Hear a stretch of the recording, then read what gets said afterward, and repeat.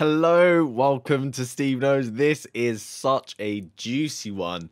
Version 28 release notes have been sent to somebody who posted them on Reddit. They got sent in an email when they contacted support. Apparently, they didn't think they're supposed to do that. So, shout out to Pigsfly465 for this one.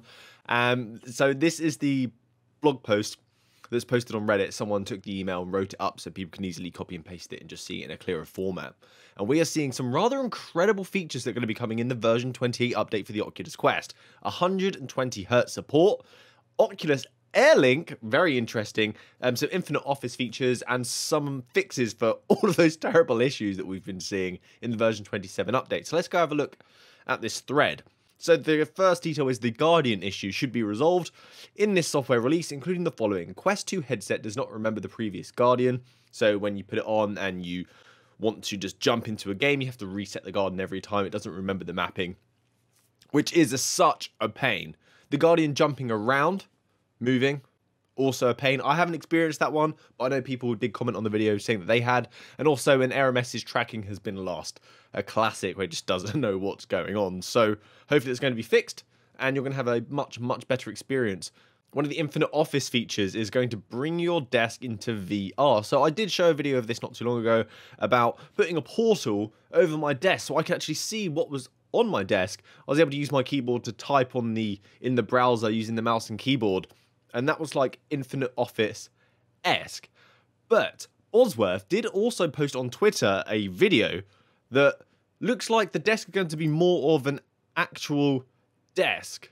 So here's the video from Bosworth. You can see that his desk, it's not a portal, it's an actual desk. He then leaves, grabs his K830 Logitech keyboard and pops it on the desk, and then it does this beautiful mapping where it's actually there. So rather than using the pass-through portal like I was in the other video, it's actually going to solidify and put a proper desk in there, not a portal, and a mapping of your keyboard. They're only going to be mapping the Logitech K830 initially.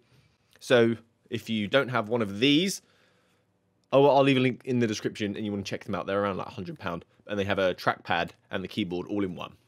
So that's pretty interesting. I'm pretty excited for that one. I'm looking forward to using my Oculus Quest for productivity and it's actually happening. Next one, which, ooh, this one creates a little bit of drama that I'm going to touch on as well because right, let's get I'll, let, one sec. I'll tell you in a sec. So, so the Oculus Air Link, the Oculus Air Link allows you to discover and pair your Oculus Quest headset to your Oculus Ready PC over a secure Wi-Fi network. This is going to be an experimental feature and you're going to meet some requirements as well. So let's check out the requirements on that on the support site. So the best practices, 5 gigahertz Wi-Fi, ACX protocol, nothing crazy there, not using a mesh network, and the router to be the router to be in the same room as the headset or line at sight at least by one meter off the ground. So if you saw my best wireless Oculus Quest setup, uh, where you have a dedicated router for wireless gaming, the Oculus Quest, and it's in like £40 for the router, then you're going to be meeting these requirements. It's perfect. Um, and then also some known issues that if you're going to be finally using this feature when version 28 rolls out, that you should perhaps be aware of. But they did dive into it further after that post and put it as a blog post for everyone to see. And they start off talking about Airlink. So Airlink will ship in experimental mode on the Quest 2. We're excited to hear about the community's feedback. Airlink gives people more options for accessing PC VR games on Quest 2. Oculus Link cables will still provide a robust, consistent experience, while those with a strong Wi-Fi setup can stream wirelessly through Airlink. So, how interesting is this? So we're currently using virtual desktop to play PC VR games. So we connect the headset to that, and then we use the virtual desktop streamer on the computer and the application in the headset to stream Steam VR titles, which works absolutely fantastically. And they just accepted it onto the store. We thought, happy days, they're doing something nice. But Oculus are doing what they always seem to be doing and eliminating the competition. I'm not sure how good this is going to be. Is it going to be good as what Guy Godin has implemented? I don't know. This Air Link is probably going to be better for using the Oculus store, the Rift store directly, as opposed to using the Steam VR store. So you you may want to use both still. We're going to have to test out the performance, but they are releasing an official wireless solution to the Oculus Link. So don't buy the cable. If you're about to buy the cable, don't buy the cable yet, because this should be a free feature. Also, Infinite Office updates. We just spoke about bringing the desk into VR and pair your physical keyboard with your Oculus Quest 2, which is what I was just talking about the K830, the Logitech K830, that's this keyboard. Um, they should hopefully be bringing more physical representations of that keyboard um, at a later date, but at the moment it's the Logitech K830, which is what I've got. Exciting. It's the reason why I got it. I can finally use it for its intended purpose. And of course, the 120 Hz support for the Oculus Quest 2.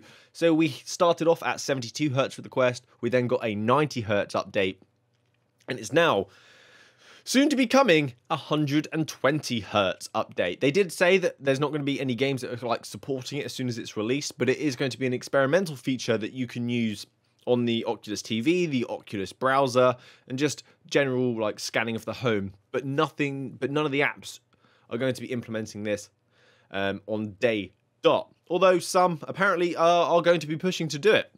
So he said, now we're giving gamers and developers even more choice to push smooth gameplay to the next level with the option to enable 120Hz display on the Quest 2. Developers can soon begin to ship apps on the store at 120Hz natively, but the users will have to opt in 120Hz via the experimental panel. And there's a few problems with this. Battery is one, the battery doesn't last very long as it is, and overheating is one.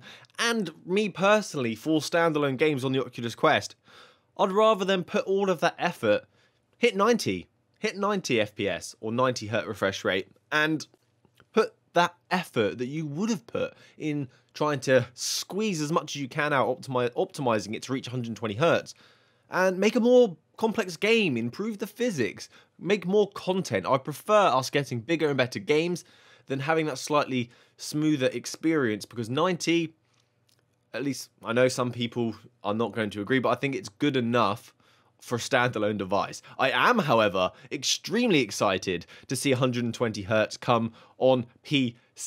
So a 299 device reaching near the benchmarks of what the Valve Index is is pretty impressive. So for PC VR gaming, I'm happy to see 120 Hz. I'm really excited for that because I can squeeze more power out. I'm going to get really stunning, beautiful games, but I'm also going to get more frames. Not at the cost of having a game with less content or, or, or downgraded visuals.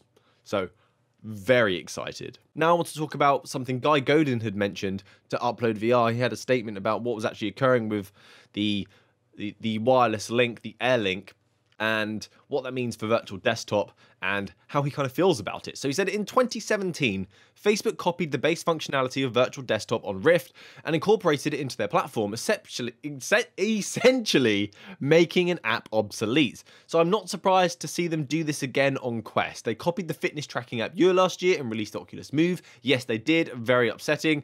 Essentially killing the company. They also released App Lab as they saw how popular SideQuest was. That's what they do. And we've seen this with Facebook in their entire history. This isn't just something that's niche to the Oculus brand. This is Facebook. This is just what they do.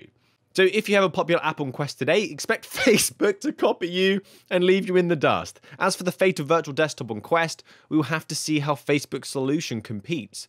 Judging by the numbers of issues plaguing Oculus Link today, I'm confident Virtual Desktop will remain a valuable solution for a while.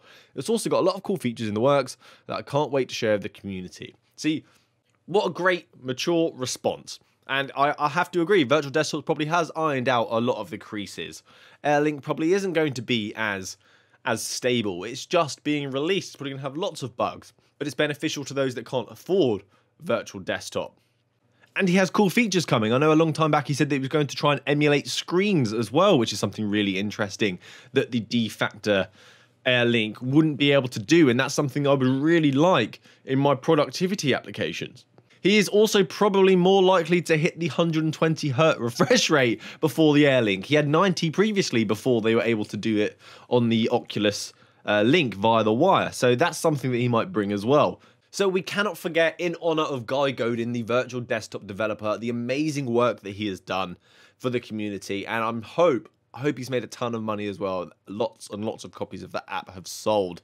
What else we've got coming as well is a light theme, because at the moment the style is all dark. Dark is very trendy. I like having the dark feature um, in my like IDE when I'm developing as well. It's just nicer on the eyes, keep things bit more relaxed, but they're going to add an option where you can make this light. So it's going to be brighter, brighter in your face. And that will be done in the display theme, a dark or light theme. Hopefully they add more themes so I can have a pop of color because it's very like gray, isn't it? Um, so some color would be very nice. And of course, some improvements to the hand tracking. So that's it for me today, guys. They have been the updates for the Oculus Quest 2 version 28 update crazy stuff. Lots of those issues we've complained about are going to be fixed. We're going to get some infinite office features so I can have this desk in front of me in VR and use this K 830 keyboard, really exciting. A wireless PCVR solution, 120 Hz support, which I'm more excited to have that on PC, which is coming at a later date. Also, a light theme and some hand tracking improvements. So that's it from me today, guys. Please subscribe to the channel. Hopefully, I'll see you next time. Weekly updates occur at the end of the week, and I do random videos throughout. And I do have a haptics vest giveaway coming soon. So, as I said, subscribe to the channel. Hopefully, see you next time. Happy gaming, guys. Good day.